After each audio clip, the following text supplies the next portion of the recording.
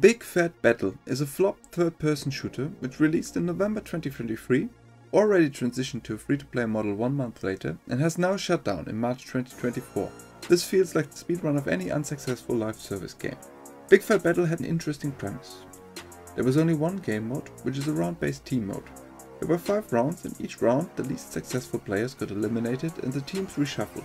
This brought a bit of variation and also kept teams somewhat balanced. Unfortunately a single game mode and less than a handful of maps made the game desperately lacking in content. Cosmetic content however the game had much, like a Kim Jong-un skin.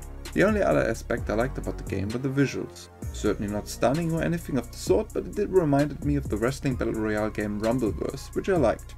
The biggest problem of the game had to be the utterly terrible performance. As soon as anything was going on, the frame rate would not only dip, but the gameplay would often become nearly unplayable. This didn't seem to be affected by hardware or visual settings. It's unclear whether the game was just horribly optimized or the servers were terrible, but it might have been a mix of both. The game never had a player base big enough to even fully fill up the 32 player lobbies.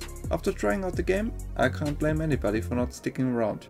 Thankfully there were bots. They were however not affected by the terrible performance and could easily take you out while you were watching the slideshow of a game.